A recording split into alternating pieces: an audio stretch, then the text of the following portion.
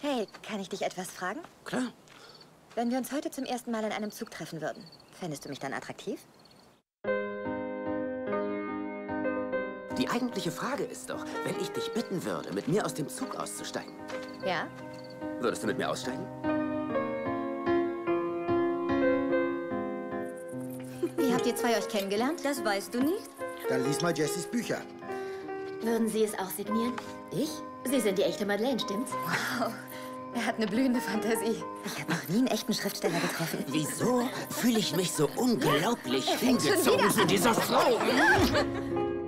Weißt du noch, wie du die Mädchen mal eine halbe Stunde zu spät von der Schule abgeholt hast und total gestresst warst, weil dir klar war, dass sie auf dem Spielplatz auf dich warten und nicht wussten, ob dir was zugestoßen ist?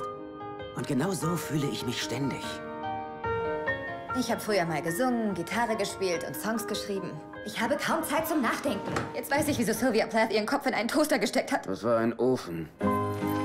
Ist das äh, wirklich mein Leben, das da jetzt gerade stattfindet? Das ist es. Wenn wir die Mädchen nicht hätten, wären wir dann überhaupt noch zusammen? Jetzt hast du endgültig den Verstand verloren, weißt du das? Als er das Flugzeug verpasst hat und sie tagelang Sex haben, immer wieder und wieder.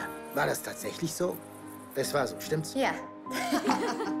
Nicht die Liebe zu einem anderen Menschen zählt, sondern die Liebe zum Leben. Oh.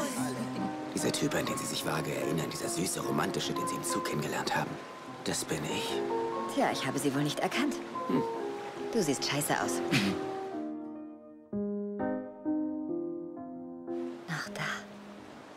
Nach da. Weg.